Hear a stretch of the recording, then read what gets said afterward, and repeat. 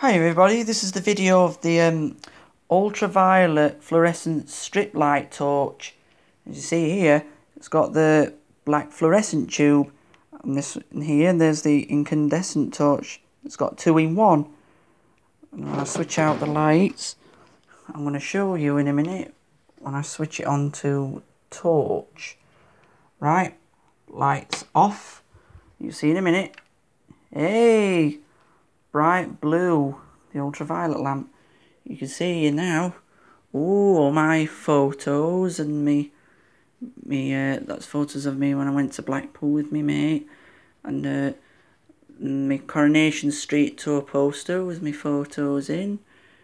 Yep, and my calendar. Oh, and that's showing up in the, in the blue. Yep, showing up in the ultraviolet light.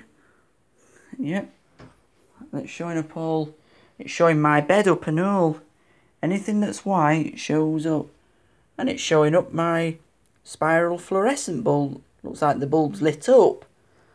Yeah, it's just the tube on it showing white. It shows up any bits of white.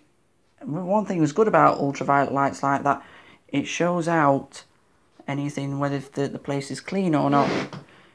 Anyway, still showing up my Yorkshire Terrier bus clock. And the time on here is nearly half past nine.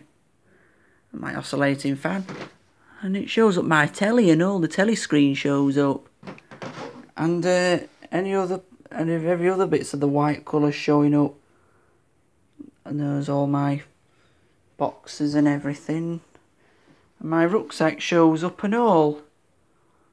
Now when I switch it on to torch, that's that's on torch and that's the incandescent torch. Anyway, that torch goes off now. So, oh, sorry, I need to put that off. Yep, anyway, it just slips. Anyway, the big light's back on. Yeah, that's it. That's it when I put it back down now. But anyway, just the video of the um, ultraviolet fluorescent lamp torch. So I hope you guys like the video. See you soon.